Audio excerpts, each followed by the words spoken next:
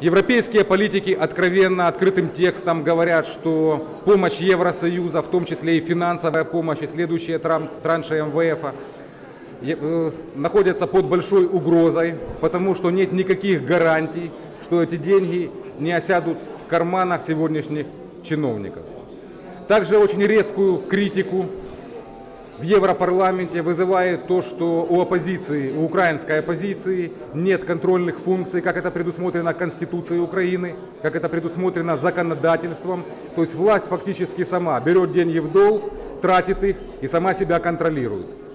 Это неприемлемо для Европейского парламента, руководители ключевых фракций, таких как, например, э, Ребекка Хармс, один из лидеров Европарламента заявляет, что такого не может быть теоретически и будет конкретная позиция. Также большой новостью является, что в ближайшее время в Европейском парламенте будет создана группа поддержки украинской оппозиции.